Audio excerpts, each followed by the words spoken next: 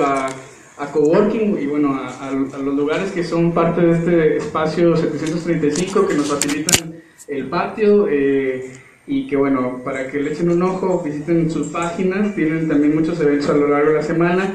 Eh, la razón por la que estamos eh, convocando a, esta charla, pues no es realmente sorpresa, eh, como pueblo bicicletero tenemos ya varios años eh, haciendo un señalamiento puntual eh, en el tema de pues que vivimos una crisis ambiental, básicamente. O sea, vivimos una crisis ambiental y esta ciudad no todavía no le cae ese 20. O sea, parece que no pasa nada, que estamos como muy tranquilos, pero la realidad es que todos los días con este aire que estamos respirando, pues nos estamos muriendo. Y no, nos, no nos llega esa información. Eh, no hemos reaccionado. Y las pequeñas cosas que, que están sucediendo ahorita con, con una nueva administración, eh, pues eh, vamos a ver, o sea, qué se está construyendo ahí. Por eso invitamos, ahorita les presento a Armandina completo, pero por eso invitamos a, a alguien del gobierno del Estado para, primero que nada, pues entender qué panorama tienen ellos y cuáles son nuestras dudas más básicas. Empecemos como por lo más básico, porque realmente digo, este tema es muy complejo eh, realmente abarca muchas temáticas, eh, desarrollo urbano, economía, lo que quieran. Eh, todo se conjunta y, y, no nos daría tiempo para discutir todo en, esta sesión. De hecho, estamos próximamente, traemos este, la idea de organizar un foro más grande para que tengamos posibilidades de tener más información con más ponentes. un, digamos, una visión más crítica a diferentes temas que están relacionados con esta cuestión de nuestra salud, con esta cuestión de cómo logramos que eh, las autoridades eh, cumplan eh, a nivel federal, a nivel estatal y municipal con el artículo cuarto constitucional que habla de que tenemos derecho a un medio ambiente sano. Entonces, pues ya para no hacerla mucho de espera, nada más voy a mencionar el, perfil de, de nuestra invitada. Un segundo que ya perdí la información.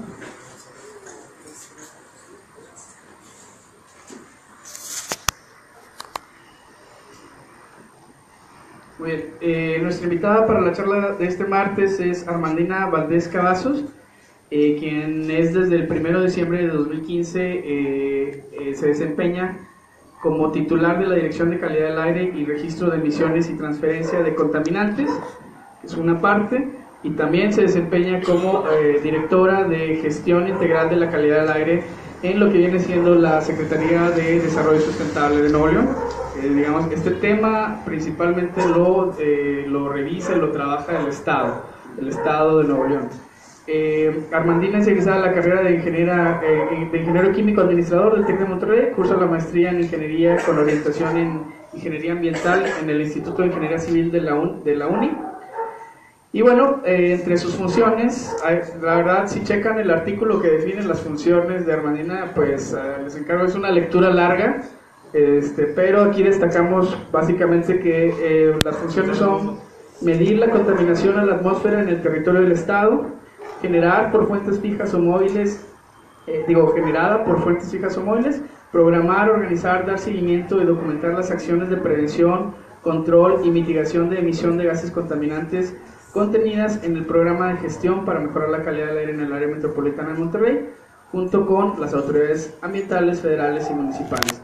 Y bueno, en la página de la charla, de hecho ahí viene el enlace por si quieren conocer el resto de las funciones de Armandina. Armandina, te invitaríamos a pasar. Vamos a tener una dinámica, este, bueno, un aplauso para nuestra invitada.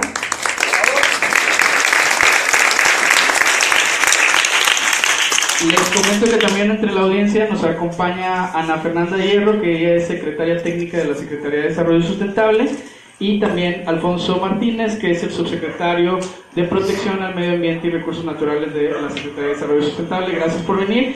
Igual en un ratito que empiece la dinámica del diálogo, pues tal vez si quieren intervenir, bienvenidas y bienvenidos.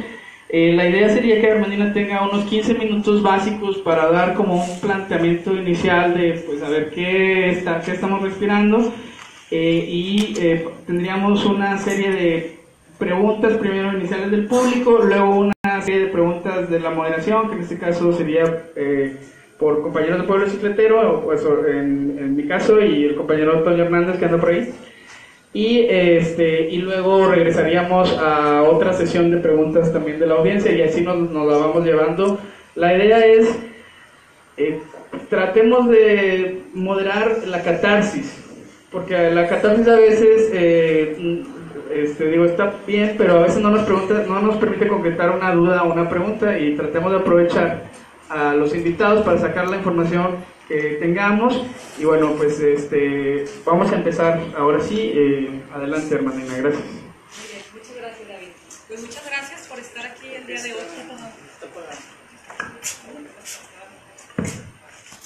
Muchas gracias por estar aquí el día de hoy. Agradecemos su interés en el tema de calidad del aire. La verdad es un tema que eh, muchas veces nos preguntan, bueno, es que ¿por qué ahora está tan mala calidad del aire? como dijo, como dijo David hace un momento, no es que la calidad del aire acabe de empezar a empeorar. La situación es que en esta administración que empezó en 2015 se empezó a dar difusión a la situación de la calidad del aire. Esta situación tiene muchos años, este problema tiene mucho tiempo. Eh, incluso eh, a veces comentarios como imagínense, eh, la regulación ambiental empezó en 1988 Imagínense cómo estarían las cosas aquí en Nuevo León antes de esta época, antes de 1988, en el que eh, no había ningún tipo de regulación y todas las empresas eh, grandes que conocen ahorita, más otras como fundidora, estaban trabajando a todo lo que da sin ningún tipo de regulación. este es un problema con el que tenemos muchos, muchos años coexistiendo, desafortunadamente, pero ya no podemos continuar así. Eh, este, esta mala calidad del aire nos está afectando mucho, sí, por favor. Y pues bueno, como muestra de esto, eh, el año pasado, de todos los días del año, tuvimos 61 con eh, mala calidad del aire. Tuvimos 61 días sobre la norma. Entonces, 61% perdón, de los días del año estuvieron por encima de las normas de calidad del aire. Entonces, eh, esto es, sobrepasaron las normas de PM10, de PM2.5 y ozono, que son los contaminantes más críticos en el área metropolitana de, Monterrey. Aquí eh, son los últimos 11 años como ejemplo de lo que les comento, que esto no es un tema nuevo, no es un problema nuevo. Tenemos muchos años con mala calidad del aire. Esto, esta información que les, se les presenta en esta diapositiva son las concentraciones promedio. Nosotros eh, tenemos una red de monitoreo que consta de 10 estaciones estas 10 estaciones están situadas en distintos puntos del área metropolitana y estamos monitoreando de manera continua las 24 horas del día y esta es la información que nosotros eh, obtuvimos de, cada uno de los años para partículas menores a 10 micras. El año pasado tuvimos 60.43 microgramos por metro cúbico en promedio cuando la norma nos establece que el promedio anual es de 40 microgramos. Tuvimos años, hemos tenido años como por ejemplo 2011, que es uno de los peores años, que fue posterior al huracán Alex, el año de la reconstrucción, donde la ciudad estaba totalmente colapsada, todas las vialidades estaban colapsadas y también el desasolve del río Santa Catarina. Tuvimos 83.8 microgramos por metro cúbico de concentración promedio. Entonces, eh, realmente este es un problema que, tiene bastante tiempo y que, imagínense, si eh, el límite es 40 microgramos y, estamos respirando ahorita un 50% más, pero hemos tenido ocasiones en las que es más del doble de eso, como fue el caso de, 2011, como tenemos también aquí en el año 2005, 2006. Entonces, realmente el problema es muy grave. Aquí en esta gráfica lo que se presenta son los días sobre la norma. Eh, también de la información que nosotros estamos monitoreando constantemente de la red de monitoreo, vamos comparando con las normas y vamos determinando si el día, si, la concentración que se tiene en ese día, la contaminación que hubo en ese día sobrepasa los límites de la norma. Y es entonces cuando señalamos que tenemos eh, días sobre la norma para uno de, alguno de los indicadores.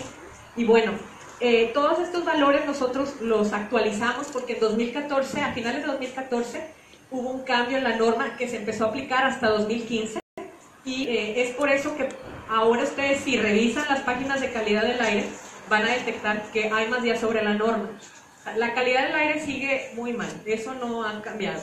Está empezando, están empezando a tomarse apenas acciones para esto, pero eh, eh, si actualizamos eh, los días sobre la norma de años anteriores a, los valores de la norma actual, tenemos que ha habido años en los que tenemos 275 días sobre la norma en PM10, más los días sobre la norma que tenemos en los otros contaminantes, que son PM2.5 y ozono, que son los que se encuentran más abajo.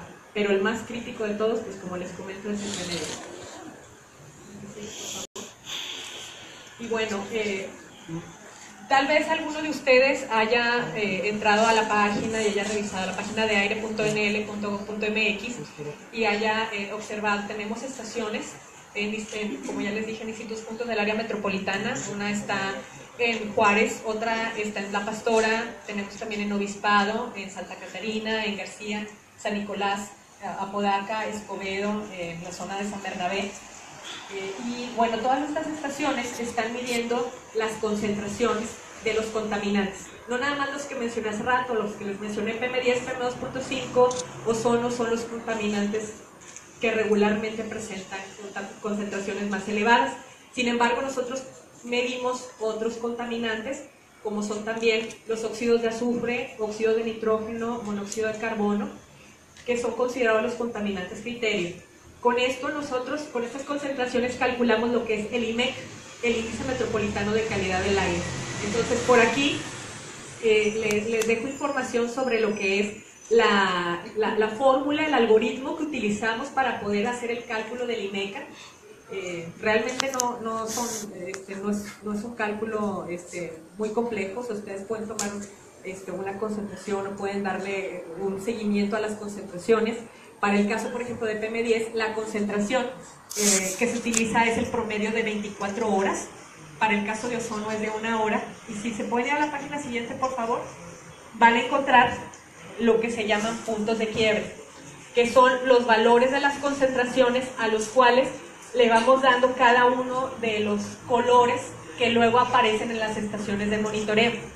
O sea, nosotros lo que estamos midiendo son concentraciones pero como a veces puede ser complicado el, el poder este, tener toda la información o poder entender qué significa un número, si 75 microgramos por metro cúbico, qué significa, o si tenemos una concentración de ozono de, de 0.95 partes por billón. Entonces lo que hacemos es que todas esas concentraciones las estandarizamos en el índice metropolitano de calidad del aire o IMECA. Entonces, si se fijan, para cada uno de estos contaminantes viene un, un índice que es como una equivalencia. Entonces nosotros con, la fórmula que les mostré en la página anterior, hacemos el cálculo dependiendo de cómo se encuentran las concentraciones y en base a eso vamos a determinar cuál es el valor de IMECA que tenemos para cada uno de los contaminantes. Entonces, ya que tenemos esta información, determinamos cuál es el IMECA más elevado para cada uno de los contaminantes, que como les comento regularmente es para PM10, y ese es el que se publica en el mapa. Cuando ustedes abren el mapa en la página aire.nl.gov.mx les aparece un numerito. Es el, es el IMECA más alto. Nosotros lo estamos calculando para todos los, para todos los contaminantes. Y bueno, ya si entran a cada uno de, los, de las estaciones que aparecen en el mapa, entonces van a poder tener información mucho más detallada de cada uno de estos contaminantes, van a encontrar cuál es el IMECA de cada uno de ellos. Además, nosotros estamos publicando también las concentraciones. Como sabemos que eh, para algunos, para algunos, eh, algunos contaminantes el promedio es de 24 horas, lo que hacemos para dar información más actualizada, más precisa de cómo está la situación en este momento, reportamos la concentración por cada una de las horas y a un lado colocamos la información de cuál es el límite máximo permisible. Con esto ustedes pueden comparar y saber también, si quieren más información o más, más detalle, si estamos fuera de la norma o estamos dentro del valor de la norma. Pero bueno, tenemos también los colores y tenemos la, la, categoría o el significado que tiene cada uno de estos colores y cada uno de estos valores. De 0 a 50 es buena, de 51 a 100 es regular, de 101 a 150 es mala, de 151 a 200 es muy mala y ya a partir de 201 ya se considera extremadamente mal. Que este fue uno de los cambios que se hizo en, esta administración. Se hizo el cambio a pasar en color verde de, de 0 a 50, y que sea calidad eh, buena, 51 a 100 regular y 101 a 150 mala. Anteriormente, para que fuera considerada eh, mala calidad del aire, era a partir de 151. Entonces, eh, ese fue uno de los cambios. Por eso pueden ver ustedes que hay más días en el mapa que están con calidad de aire mala, que están en naranja. Antes, hasta 151. Y si agregamos a eso que además el límite máximo pasó de 120 microgramos a 75 microgramos, en PM10 por ejemplo, también ahí este, pues eso hace que el, indicador o el, el IMECA sea mucho más alto. Muy bien, la que sigue por favor. Y bueno, pues ¿de dónde viene toda esta contaminación? Pues tenemos dos grandes fuentes, así de manera muy general. Lo que son las naturales, que, que es eh, simplemente el, el, suelo que tenemos en nuestro estado, que es muy, es muy desértico. Tenemos muchas áreas descubiertas sin vegetación ya de manera natural, que se erosionan por el efecto eólico. Y también tenemos las antropogénicas o provocadas por el hombre, que son las empresas, que son los vehículos que están en movimiento, que son todas las actividades que realizamos en el día a día, no sé, simplemente el este, desplazarnos de un lugar a otro, el, hacer una fogata, eh, eh, por ejemplo, los, cuando se recarpetea una calle, este, los caminos este, pavimentados que están en malas condiciones, todo esto nos ocasiona también mucha contaminación, mala calidad del aire. La que sigue, por favor. Y pues bueno, aquí las tenemos más desglosadas. Las fuentes antropogénicas se dividen también en lo que son fuentes fijas, que es la industria, las fuentes de área, que ya les comenté por ahí, los caminos pavimentados, no pavimentados, eh, las actividades de servicios comerciales, las panaderías, los restaurantes, asados de pollo, todo esto, son consideradas fuentes de área y pues las fuentes móviles, que son pues todos los vehículos automotores. La que sigue, por favor. Y bueno, eh, se hizo un inventario de emisiones y de acuerdo a este inventario, este inventario fue hecho por una, por una compañía externa que se, que se contrató con recursos federales, con recursos de la Semarnat, y en base a, a este inventario este, se obtuvieron, eh, se obtuvo que los grandes grupos de contaminantes tienen la aportación que se presenta ahí. Las fuentes móviles aportan un 45% de, de, todos los contaminantes que, que, se consideraron en el inventario. Las fuentes naturales son un 28%, las fuentes de área un 16% y las fuentes fijas son un 11%. La que sigue, por favor. Y bueno, eh, ya lo mencionaba por ahí David en la presentación, en la parte inicial, que eh, los distintos órdenes de gobierno tenemos ciertas facultades o responsabilidades para poder regular eh, lo que es la cuestión de la contaminación. Y es así como se puede dividir o se puede clasificar la competencia o, la responsabilidad que tiene cada una de que tenemos cada uno de los órdenes de gobierno para poder regular la, la calidad del aire o la contaminación.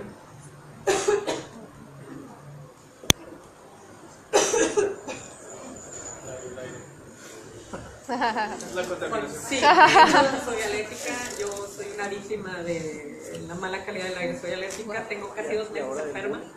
Este, mis hijos y yo vivimos en Santa Catarina, mis hijos son alérgicos, padecen rinitis alérgicas desde que nacieron, entonces pues me interesa mucho mejorar la calidad del aire, la verdad, porque soy, somos víctimas de, de, de estos problemas.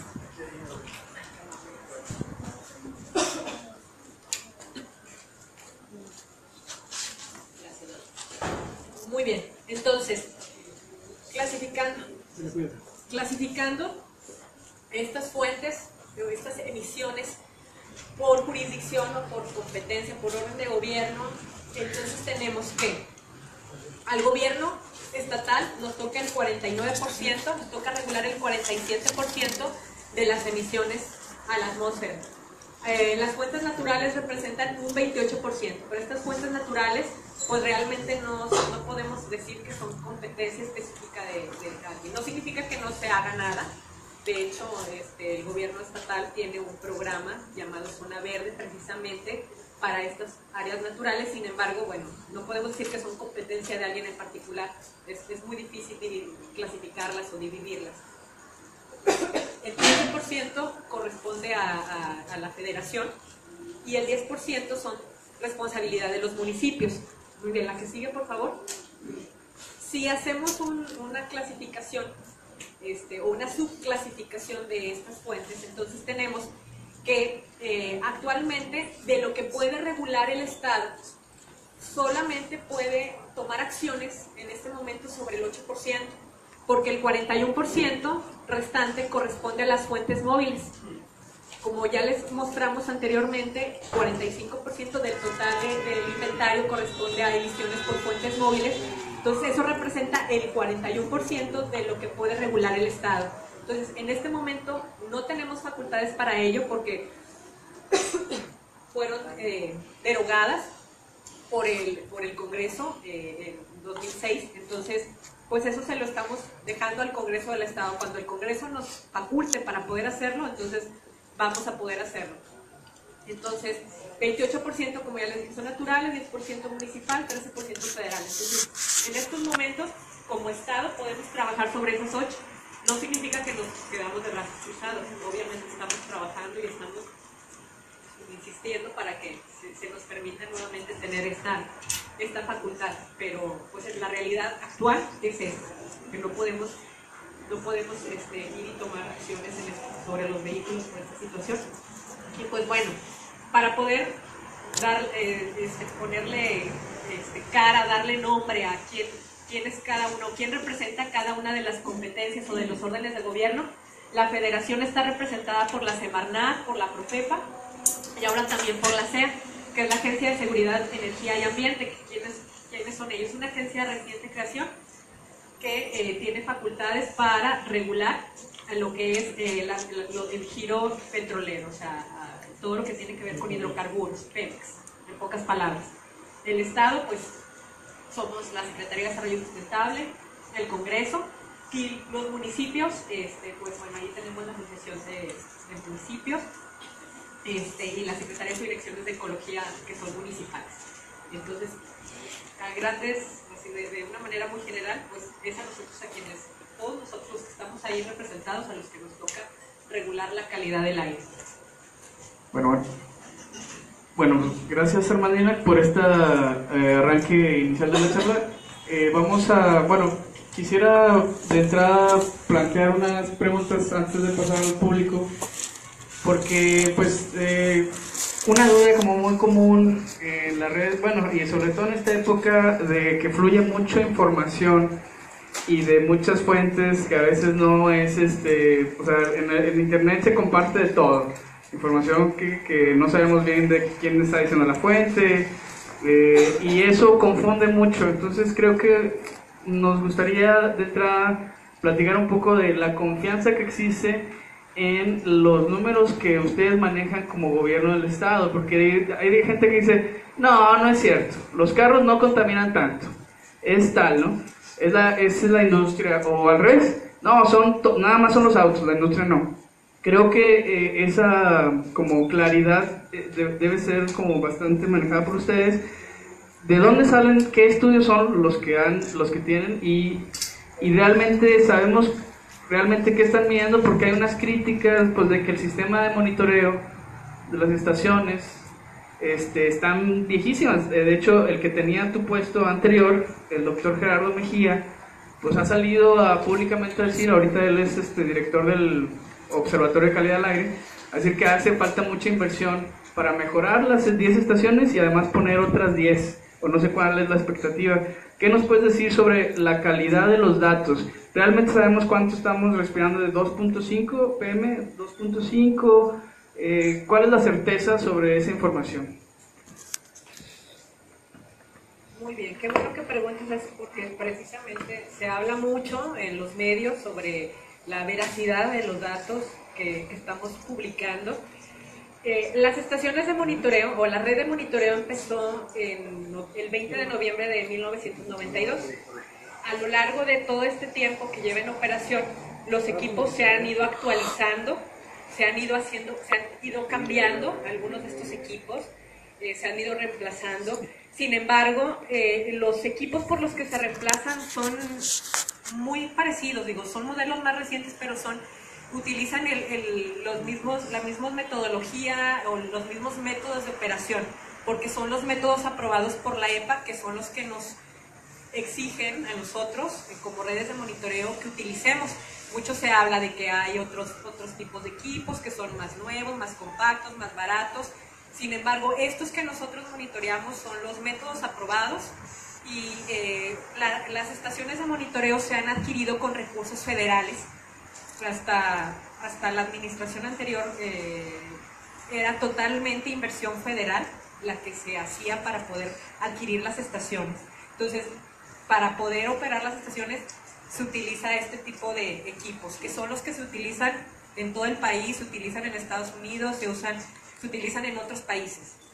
Este, se han tenido por aquí oportunidad, este, algunos miembros del, equipo de calidad del aire de la subsecretaría, de visitar otras redes de monitoreo de otras ciudades o de otros países y son estos mismos equipos los que se utilizan.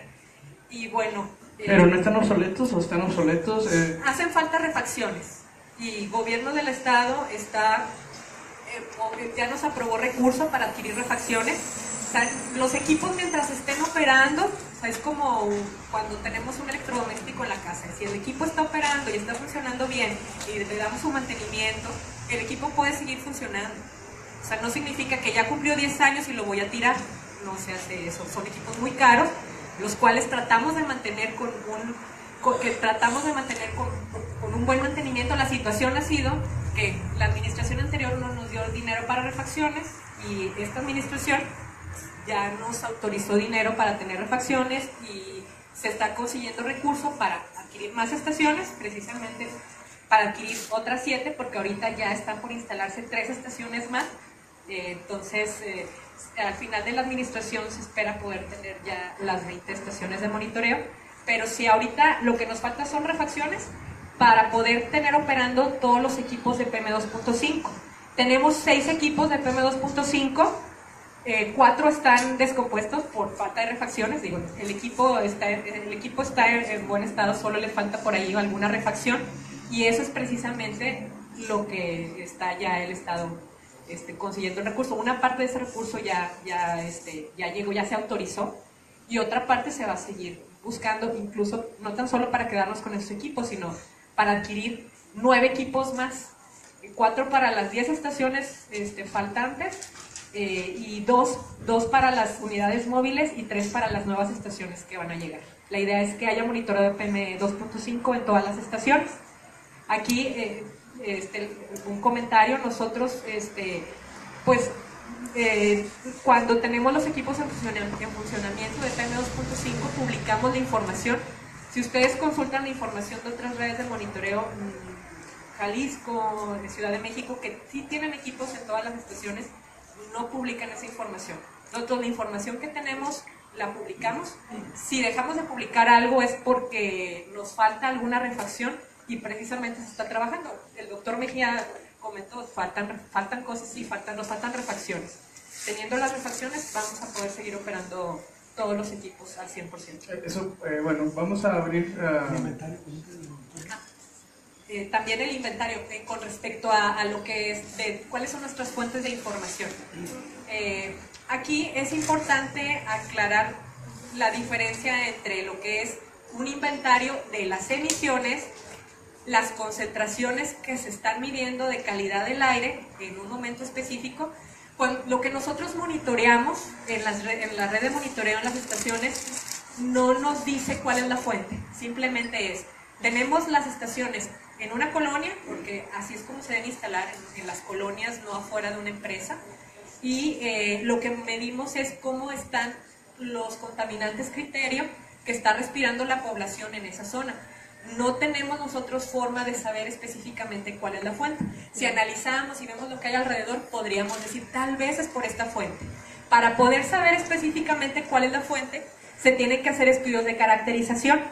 Por ahí nosotros hemos en otras presentaciones eh, este, expuesto información, tanto de un estudio del doctor Gerardo Mejía, como también de, un, de estudios que, que hizo el gobierno de Japón, con el apoyo también del Instituto Nacional de Ecología y Cambio Climático, en los cuales se hizo precisamente una caracterización de la contaminación que nosotros tenemos en el área metropolitana, específicamente las PM2.5, cómo está compuesta y cuáles son las fuentes de esa contaminación.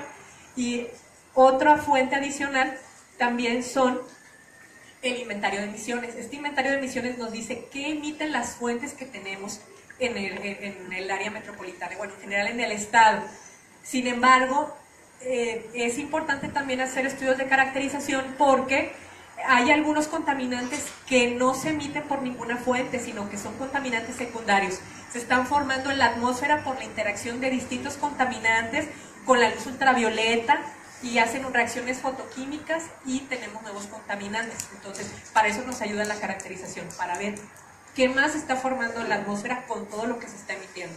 Entonces, todos estos estudios, todas estas fuentes son las que nosotros estamos utilizando para poder reportar estos datos que presentamos en nuestras gráficas.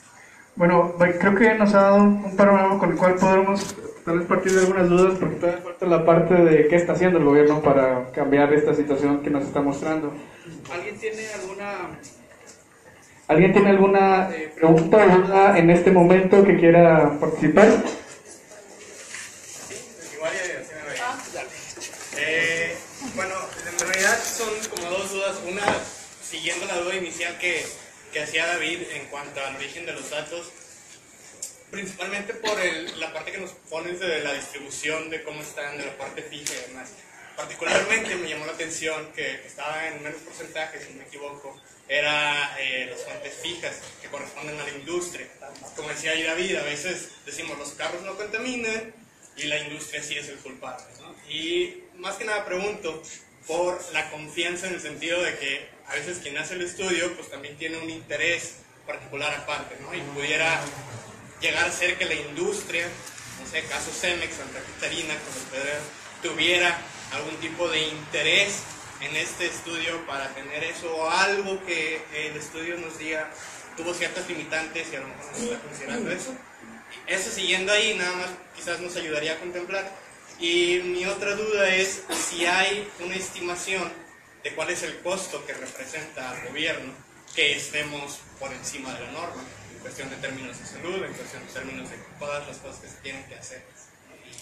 Y si, si, no hay, ¿cuánto es lo que se Muy bien.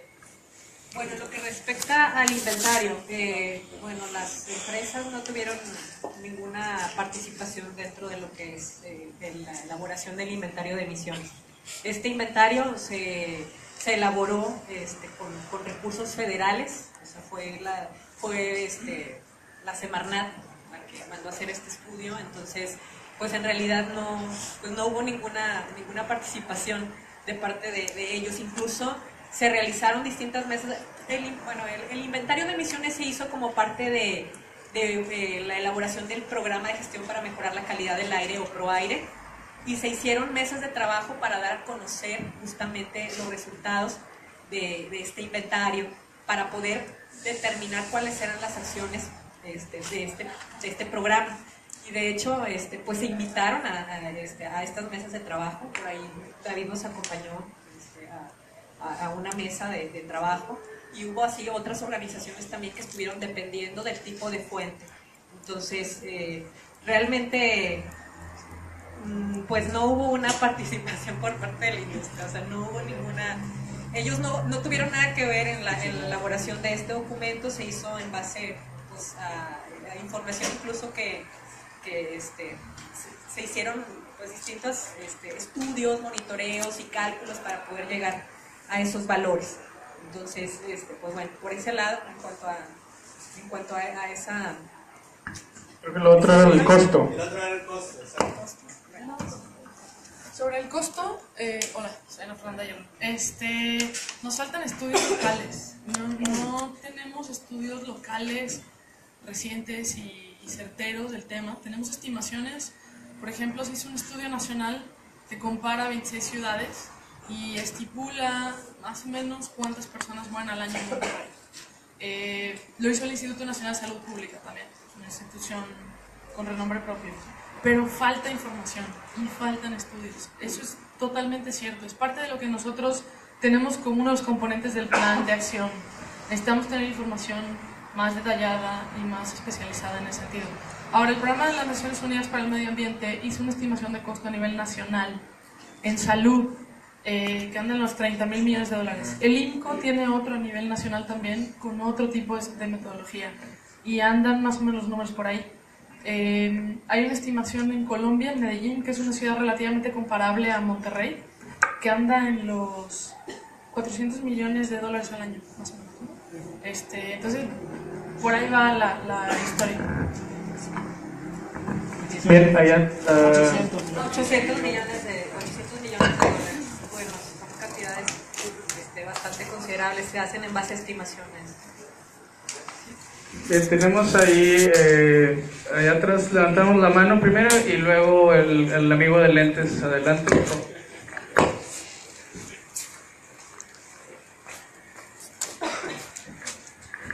Gracias, el micrófono sí lo necesito por mi voz. Este, soy topógrafo, trabajé en Cimeprode y en Fonavit y soy un sobreviviente de la contaminación. Tuve cáncer en el 76. Eh, usted ha mencionado ahorita de que los problemas de salud se originan en la contaminación y todos sabemos bien que Monterrey es la ciudad más contaminada del país. Ahora, mi pregunta va a esto. Si no se pueden identificar las fuentes inmediatas de la contaminación en los monitoreos, voy a mencionar industrias como conductores mexicanos. En San Nicolás, en la colonia constituyente de Querétaro, fue donde yo adquirí esa enfermedad y ahora vivo ahí. Eh, empresas como Protexa, como Cementos, que ya se mencionó ahorita, y así hay muchas industrias, vidriera, hay muchas industrias que eh, desgraciadamente quedaron en la zona urbana, quedaron ahí en, el espacio donde estamos, estamos viviendo. No hay estudios, y atrevo a decir que no hay forma de saber a qué grado de contaminación estamos en las fuentes fijas en la industria. Es difícil saberlo. Ya se supo en alguna ocasión que en Vidriera, algunos espacios que tenían contaminados, que tenían confinado eh, residuos tóxicos, eh, mucha gente se enfermó. Frontexa tiene contaminada, contaminada mucha parte de la Huasteca. Según esto, el Congreso iba a hacer algo al respecto, no se hizo nada. A mí me tocó ir como inspector a ver esas montañas inmensas de fibra de vidrio que la naturaleza ya las cubrió lo más seguro. Entonces, creo que es importante hacerlo. ¿Cuál es la inquietud? Mi inquietud, mi pregunta es, ¿a qué grado podemos llegar a saber que esas fuentes fijas puedan ir eh, minorando y ir desapareciendo? Ok, eso es una. Vamos a tomar la otra pregunta y. Buenas. Eh, Mi nombre es Eduardo Ramírez. Este, yo aquí en esto no tengo, bueno, tengo un, tema de un producto de datos abiertos para el ambiente, luego lo podemos platicar. eh, pero mis preguntas en este caso son, eh, tienen que ver con la comparativa, si la saben, de Monterrey con las otras áreas metropolitanas de México, tomando en cuenta, o también para ver, para distinguir si hay una fuente que en particular sea más notoria aquí que en las otras áreas, por decir, si aquí se menciona que, está, que hay más industria de cemento, ver si eso se ha reflejado o se ha validado en alguna de las de los indicadores contra México, Guadalajara, Tijuana o las otras ciudades que están pues, con altos grados de contaminación.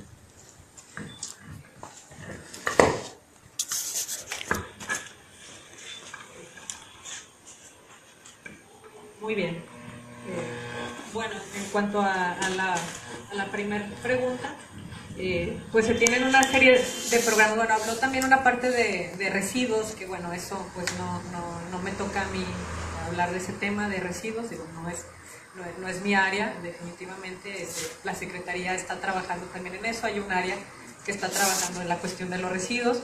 En lo que respecta a, a las a los programas de las, de las fuentes fijas, bueno, precisamente eh, nosotros estamos trabajando como Estado en hacer una regulación más estricta.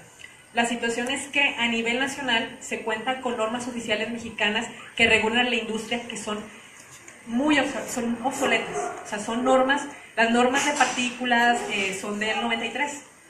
Son normas, la, norma 043 es, data del año de 1995. Entonces estamos hablando de que tiene límites permisibles bastante laxos que prácticamente cualquier empresa que, hace un estudio para ver si cumple o no cumple esa norma lo está cumpliendo. Entonces, parte de lo que nosotros en, en foros nacionales hemos exigido es que la legislación federal sea más estricta. Y nosotros estamos haciendo lo que a nosotros nos toca. Nosotros es, eh, en esta administración justamente este, se, se vio esta urgencia de hacer legislación estricta porque no había normas estatales. Ahorita ya hay una norma estatal eh, de emergencia que regula las pedreras, que está pidiendo que se cumplan estándares eh, estrictos de calidad del aire. Eh, se está trabajando también en una norma para regular a la industria de la construcción, que ustedes saben que la industria de la construcción pues es una, es una fuente considerable también de contaminación, está dentro de lo que son las fuentes de área, entonces es otra de las, de las cosas que se está haciendo, se está trabajando en una norma para regular también a las concreteras, o sea, todo esto que les comento son fuentes que son competencia de gobierno estatal. Entonces, eh, por nuestra parte es lo que, lo que tenemos que hacer, lo que nos toca ser más estrictos con las empresas de jurisdicción estatal. Se cuenta con programas de, inspección y vigilancia cada vez más estrictos. Se, se han suspendido muchas empresas. Eh, no tengo el dato exacto del número de empresas, pero bueno, la estadística es que aproximadamente este, en, un año de administración se han eh, cerrado cinco veces más empresas que toda la administración anterior. Entonces, nos falta mucho por hacer, pero se está trabajando muy duro en la, la cuestión de inspección y vigilancia, precisamente para que si una empresa no cumple, pues no puede seguir operando. Y precisamente también para poder controlar necesitamos estándares más estrictos, pero no nada más para las empresas que nos tocan a nosotros también, de, que son competencia estatal. A final de cuentas, todos estamos respirando este aire y no nos importa si viene de una empresa que es estatal o es federal. Entonces nosotros como Estado también estamos buscando que eh, la federación esté trabajando en regular a los que les toca a ellos. Estamos hablando de, de las empresas químicas, de la cementera, de empresas caleras, siderúrgica, química, todos, eh, todos estos giros le tocan a la federación, le tocan a Semarnat, a Profepa, Pemex le toca a la CEA, entonces son giros muy contaminantes. Entonces tenemos que nosotros insistir que para que ellos también regulen a los que les toca, porque de lo contrario, pues no vamos, a, no vamos a tener resultados positivos, no vamos a ver mejoras en la calidad del aire si no trabajamos todos los órdenes de gobierno de manera conjunta. Armandina, antes de que pase la pregunta del compañero que hablaba sobre la comparación entre ciudades y un poco eh, una persona, un ciudadano común y corriente, eh, ¿dónde vemos el avance de esos monitoreos que están haciendo la industria? O sea, es, no, pues ya cerramos tantas empresas, digo, bueno, pusimos multas, pues ¿dónde lo confirmamos? ¿Cómo sabemos que, eso es lo que están haciendo realmente? Qué bueno que lo dices, porque de hecho ahorita lo habíamos estado teniendo como a quien nos lo preguntaba, ¿no? Y lo que vamos a empezar a hacer a partir de ahora son reportes informativos con avances en este tipo de, gestiones. Eh, por ejemplo, vamos a sacar uno sobre cómo vamos con las pedreras a cuatro meses de, de haber iniciado el operativo y vamos a estar teniendo reportes pues, programados de qué hemos hecho en cada una de nuestras áreas de acción. En, en particular sobre las empresas, si nos, si nos dan una oportunidad, hacemos un reporte muy sencillo y lo publicamos en la página en esta semana de qué hemos hecho hasta ahora, para que lo tengan a la mano y sepan qué tipo de, de giros se han cerrado o se han suspendido y con qué implicaciones. Hay muchas veces que el proceso mismo legalmente no nos permite que en el, día que cerramos o el día que suspendemos decimos, ah, suspendimos a fulanita de tal, por una cuestión legal. Pero lo que sí podemos decir, no, pues llevamos tanto, de este giro llevamos tantas, con estas implicaciones, el proceso va así así, así. Otra de las cosas que queremos sacar muy pronto es una plataforma de denuncia ciudadana donde ustedes puedan hacer el reporte, nos ayuden, contribuyan. Nosotros, si es de nuestra jurisdicción, la atendemos y ahí mismo se va a ver en qué etapa va la denuncia. Y si son de jurisdicción federal, o en el caso de que sea otro tipo de conservación industrial, una fuente municipal, la vamos a hacer llegar a ellos y vamos a decirles si tuvimos respuesta o no. Em, pero la idea justamente es transparentar toda esta información y dar una entrada a gobierno abierto en ese sentido, ¿no? que ustedes puedan participar. Bien, pues para darle continuación a su pregunta, que creo que además es de interés porque es quién está más contaminado en el país y pues es este tema del, de Ciudad de México, siempre se menciona como la ciudad contaminada y, nosotros como que no, ¿cómo derrubar eso con la pregunta muy puntual que hacía el compañero? Muy bien. Mira, eh, con respecto a eh, quién es quién eh, en cuestión de contaminación dentro del país, el, el, Instituto Nacional de Ecología y Cambio Climático cada año recolecta información de todas las redes de monitoreo. Ellos a través del SINAICA, que es el Sistema Nacional de Información de Calidad del Aire, está eh, recabando información continuamente, nos pide a todas las redes de monitoreo, de hecho ellos son los que coordinan todas las redes de monitoreo del país y eh, nos piden información al respecto. Como te comento, se puede, se puede, eh, se puede consultar este informe ahorita no está disponible todavía el, 2016, se va a publicar, se publica en el primer tetramestre del año. Sinaica. te metes a la página del INEC. En el INEC ahí este, puedes encontrar información de, de Sinaica y de calidad del aire. ¿INEC? ¿Qué es el INEC? Instituto Nacional de Ecología y Cambio Climático. Ellos son los que, como les comento, tienen un área que se llama Sinaica, que son los que regulan todas las estaciones de monitoreo, incluso cuando queremos instalar una nueva estación, ellos nos avalan la, ubicación de las nuevas estaciones para asegurarse de que cumple con los estándares eh, que, se, debe para que sea este, una estación que sea representativa de la calidad del aire. Entonces, eh, en los últimos informes que ellos han publicado, eh, por ahí Monterrey aparece en, en segundo, tercer lugar en algunos de los, de los indicadores. Eh, hay algunos, eh, algunas redes de monitoreo, algunas ciudades que en PM10 están más elevados que nosotros, por ejemplo Mexicali, este, pero la verdad es que esto no es algo que nos este, consuele, la verdad. Si estamos en primero, segundo, tercer lugar en calidad del aire, a final de cuentas los números son los que ya les mostramos. O sea, estamos muy mal en calidad del aire, estamos por encima de lo que establece o sea, la norma de los límites máximos permisibles y mientras estemos sobre los límites máximos permisibles, o sea, aunque con estos números fuéramos el primer lugar, pues estamos mal. O, fuéramos el último lugar, estamos mal. Entonces, para complementar y luego para nomás entender las características de la contaminación de aquí si son distintas a las de los otros lugares. Muy bien, qué, qué, bueno que lo mencionas porque sí tenemos situaciones más complicadas. De hecho, todo lo que es el, norte del país tiene situaciones eh, geográficas muy diferentes a, a lo que pueden tener en el centro y en el sur. O sea, ya nosotros, digamos que de inicio tenemos una contaminación de fondo, que es este por la cuestión de, como les comenté, que tenemos clima desértico, semidesértico. Aquí igual en los alrededores también, también lo de los alrededores nos afecta.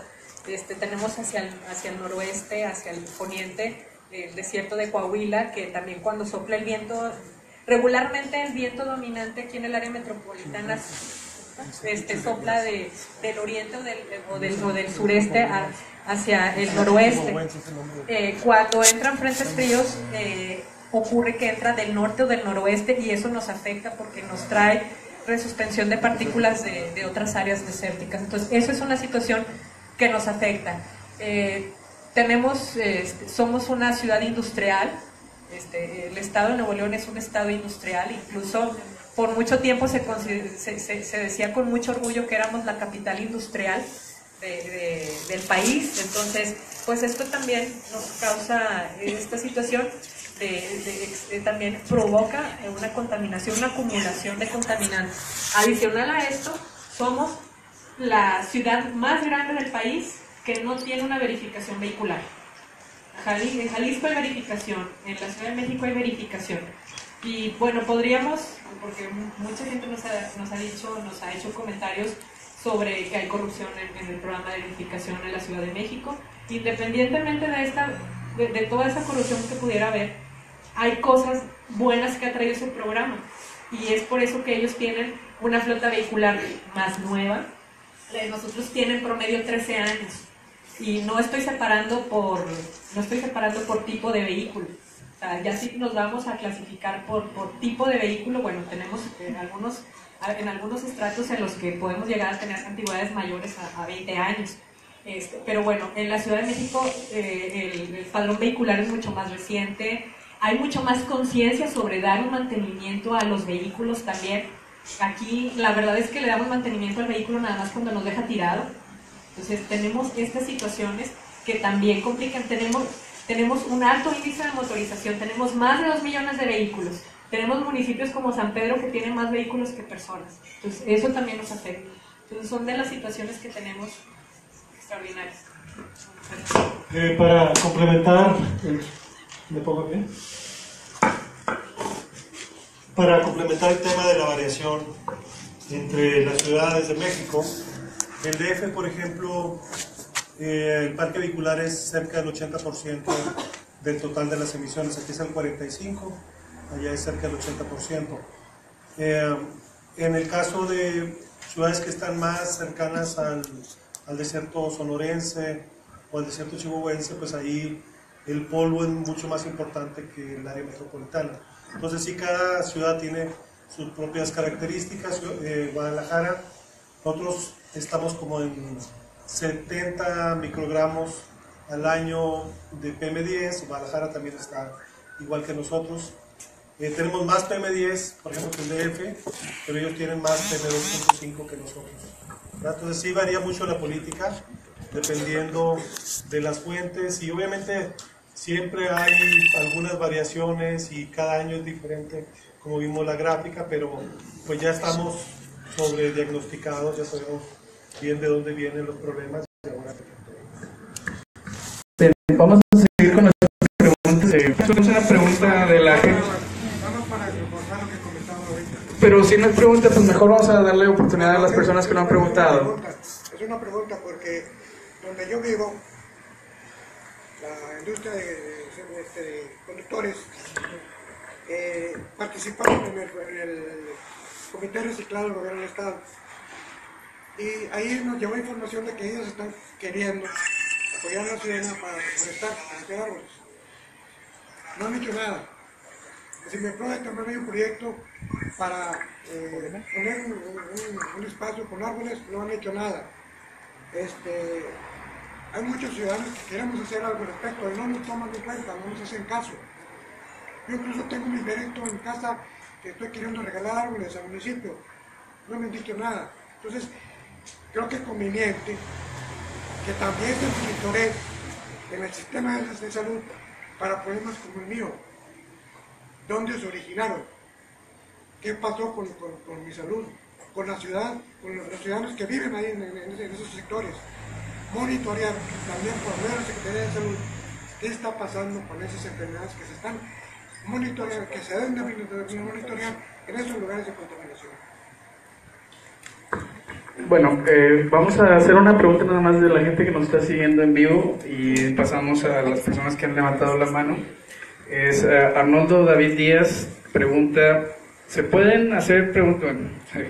En, en ese caso, eh, me gustaría retomar la pregunta sobre la influencia de la industria. Se dice que no hay intereses detrás del estudio, ya que fue financiado por el gobierno federal y Semarnat. ¿Cómo podemos confiar en estas instituciones que en todo el país han entregado la tierra para su destrucción por parte de industrias nacionales e internacionales? Eh, y bueno, si gustan responder esa pregunta y ahorita la siguen las personas que levantaron la mano. Tal vez el subsecretario. ¿Yo creo esa? ¿Cuál, ¿Cuál era la pregunta? Pues la pregunta es, se la podemos volver a leer de nuevo. ¿Con qué cara les vamos a creer? ¿Cómo podemos confiar en eso? Cierto, eh, la pregunta es muy clara. ¿Cómo podemos confiar? Y se refiere a que Semanal hizo el estudio de emisiones, ¿no? No, no, no, no, bueno, eh, que se, lo semanal lo patrocinó. eh, ¿Cómo podemos confiar en estas instituciones que en todo el país han entregado la tierra para su destrucción por parte de industrias, industriales nacionales e internacionales? Eh, y la complemento a esa pregunta, ¿existe algún agente certificador a nivel global, a nivel mundial? No. Bueno, ¿cómo podemos confiar? Pues es un tema, ¿no? Este país no tiene confianza en los gobiernos y porque los gobiernos no han respondido a los ciudadanos, ¿no? Y, y es muy difícil cuando inicias siendo gobierno, pues cargar con la culpa de otras personas que han robado y han abusado del poder. Este, yo no participé en ese inventario, yo confío en la Armandina, confío eh, cuando llegamos iban a publicar el estudio, Armandina no me deja mentir, y lo primero que dijimos fue, deténlo, queremos que la industria federal se comprometa más. Pemex no había asistido a las reuniones, había mucho tema suelto y así se quería publicar, había cierta presión para que se publicara y detuvimos esa parte hasta que todos se comprometieron. Y, bueno, pues yo no hice los cálculos de los datos, conozco a la persona que lo hizo, es una egresada aquí en TEC, que tiene una agencia que está haciendo los inventarios en varias ciudades. Me metí a ver algunos de los, de los cálculos, porque sí pregunté y lo calculé yo mismo. No calculé todo, pero lo que yo calculé me salió igual que lo que había calculado ella. Y como dice Armandina, nunca hubo una llamada de eso bájale o súbele o réstale o multiplica. Le digo, no, no estamos aquí para eso. ¿no? Yo eh, estaba ganando menos donde estaba trabajando y si estoy aquí es porque queremos hacer cosas con la comunidad. Entonces, bueno, yo así le respondería a ti y a esta persona. Una, traemos una pregunta por acá, eh, luego seguimos con, con la amiga de Blanco y luego con nuestra amiga enfrente y luego vamos allá atrás con nuestro amigo Greenpeace. David, ¿me permites agregar algo rapidísimo a eso, a la parte de la confianza? Nada más para agregar lo- el, el tema de la confianza. O sea, creo que los números nos sirven de guía, pero ninguna de las fuentes que mencionamos está en orden. Y eso es, yo creo que la, la conclusión más importante. Ya sea la industria, ya sea la parte de, las plazas que tenemos sin árboles, ya sea los caminos que tenemos sin pavimentar, los sitios de construcción, los vehículos, todos están contaminando más allá de lo que deben. Entonces, esa es la conclusión y eso es lo que nosotros tenemos clarísimo. Si es más el vehículo que la industria, finalmente eso no justifica que no estemos, no estemos sobre todos. Ahora, si tuviéramos una, una fuente que fuera ejemplar, te, la diríamos, pero ninguna de las fuentes que tenemos ahorita está idealmente controlada. Entonces, si hablamos, o sea, podemos debatir toda la noche si es el auto, si es la, si es la industria y tal. El punto es que todos están fuera de norma. Y a todos los tenemos que regular, todas las autoridades que intervenimos en el proceso. Gracias.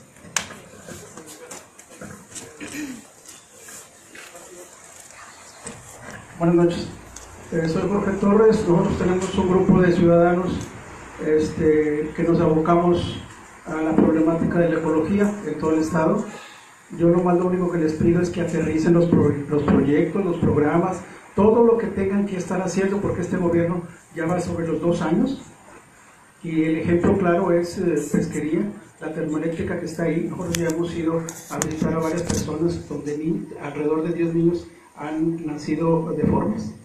Viven, aquí está la termoeléctrica, aquí está su casa. Y tenemos un documento oficial del 2010 donde les eh, ordenan que ya no construyan casa ahí y el municipio sigue construyendo. Yo nomás lo único que les pido es aterricen los proyectos y programas porque este país y este estado ya no puede, esa es mi opinión, ya vamos a dejarnos de cosas. Pues gracias por la opinión, vamos con las preguntas por acá.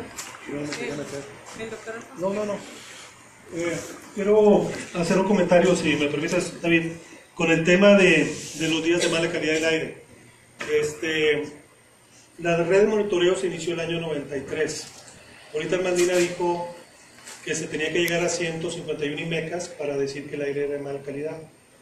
Entonces, apenas el año pasado se bajó a lo que debería de ser. O sea, por ejemplo, el año pasado tuvimos 224 días fuera de norma. Si hubiéramos usado la escala que se usaba anteriormente hubiesen sido 59. Y quizás esta reunión nos hubiera dado como estando hoy, es decir, estamos escondiendo 170 días al año que estaban de mala calidad. Y si eso le sumas por 20 años, pues son algunos años donde estuvimos respirando aire en mala calidad y no se le dijo a la población que lo estaba respirando. Entonces es un tema muy delicado. Nosotros lo primero que hicimos fue decir las cosas porque desde antes de estar aquí pues teníamos ese tema de que no se estaba informando correctamente.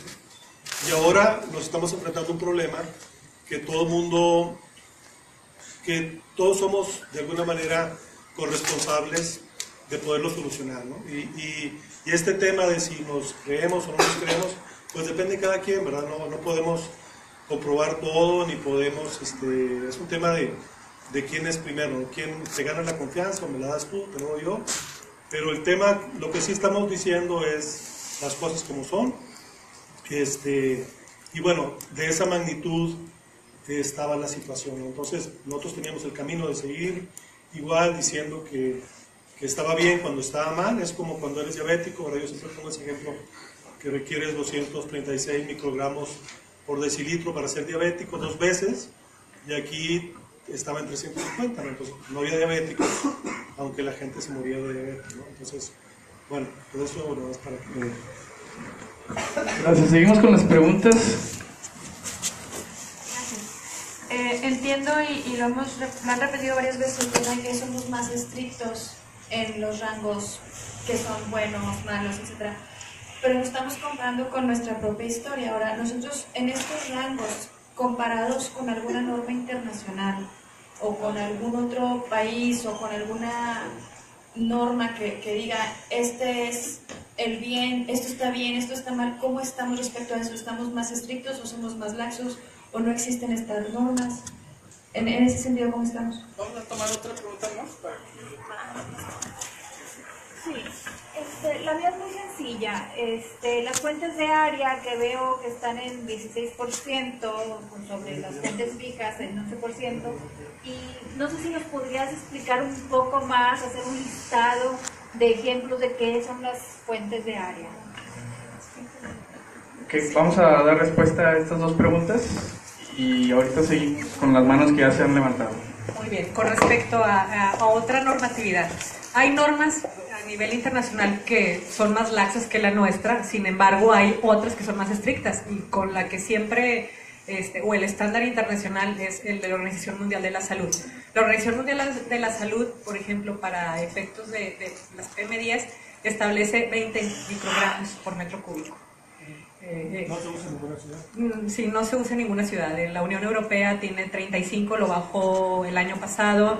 California tiene 50 microgramos, que bueno, California es así como que este, punta de lanza en cuestión de calidad del aire.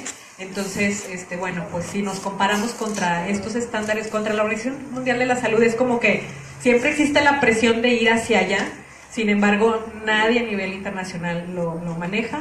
Estados Unidos, este, en algunas ciudades, como les digo, California, que es la más estricta, tiene 50 microgramos, la Unión Europea tiene 35. Entonces, eso, eso es lo que te puedo comentar con respecto a, los estándares internacionales. Este, la tendencia es, es, ir bajando. Bueno, eso es el, promedio diario, eso es en cuanto al promedio de 24 horas. Si hablamos ya del promedio anual, sí son, estamos más bajos, estamos en 40 microgramos por metro cúbico. Entonces, pues, la tendencia sí es eh, irnos acercando más hacia el estándar de la Organización Mundial de la Salud. Muy bien, con respecto a cuáles son algunos ejemplos de, de, de, fuentes de áreas, mira, tenemos este, aplicación de fertilizantes, plaguicidas, asados al carbón, asfaltado, combustión agrícola, combustión comercial, doméstica, emisiones de amoníaco por utilizar distintos productos químicos en, en, el hogar, esterilización de material hospitalario, incendios forestales, labranza agrícola, lavado en seco, panificación, pintura por señalización vial, recubrimiento de superficies arquitectónicas, pintado y, por ejemplo, también la cuestión de la impermeabilización y demás, uso doméstico de solventes, caminos no pavimentados, caminos pavimentados, emisiones erosivas de, terrenos este, hablando de, terrenos con algún propietario.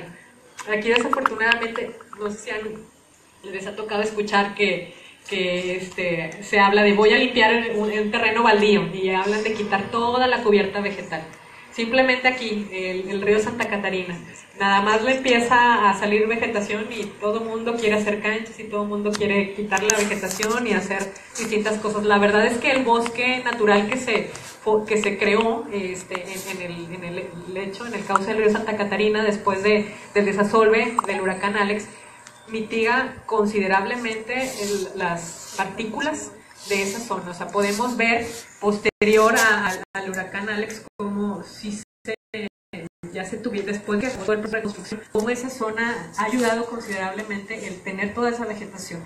Tenemos un bosque, este, este, entonces realmente son áreas que, que nos ayudan a, a mitigar y bueno, esto es, lo que acabo de comentar es de competencia municipal, es lo que tiene que regular el municipio. Hay algunas que las regulamos eh, a nivel estatal, como son las actividades de construcción. Por eso precisamente estamos elaborando una norma ambiental estatal para poder regularlos, mitigar partículas en este, en este giro, las aguas residuales, las plantas de tratamiento, eh, artes gráficas, de combustión industrial, emisiones ganaderas, incendios en construcciones, limpieza de superficies industriales, pintado automotriz y recubrimiento de superficies industriales. Y la federación le corresponde manejo y distribución manejo y distribución de gas LP.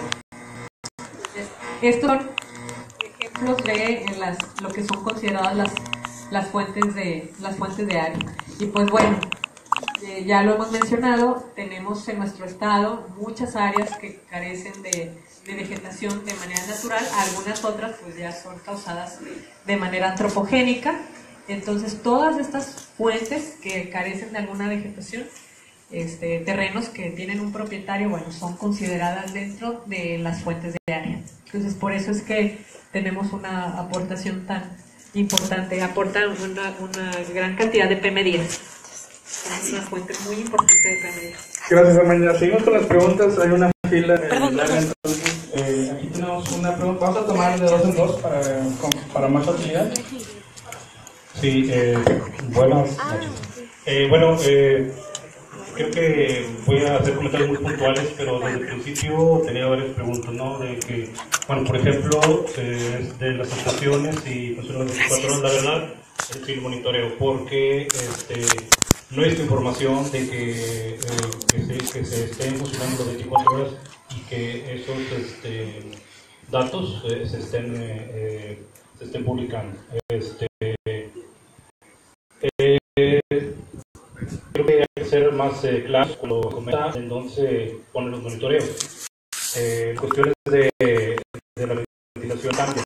O sea, no podemos decir que, vamos a colocar eh, en esta parte o en esta parte si los vientos aquí tienen su, eh, eh, siempre tienen su, este, de dónde viene, ¿no? Este, otra, este, no es este adecuado eh, si no hay políticas que apunten a, este, en general a- mm, con proyectos ciudadanos, eh, apoyar a los ciudadanos de una manera, no podemos decir que, somos tanto responsables, o sea, todos somos corresponsables, pero no podemos decir que porque no este, eh, no se tiene, o sea, que el ciudadano no repara el carro, bueno, no podemos asegurar eso, de que por eso no están bien las cosas. O sea, no podemos decir eh, que eh, si no hay una política que apoye a, al ciudadano para que pueda, este, eh, ¿cómo se llama? Pues, eh, reparar el carro, por ejemplo, o sea, eh, pues eh, no, no está bien que digamos que, son los autos o que si no hay políticas que apunten, por ejemplo, a revisiones mecánicas, a, este, a pues sí, verificaciones, pero no, no cobro de tenencias, de, de esos tipos de impuestos, no podemos decir eso.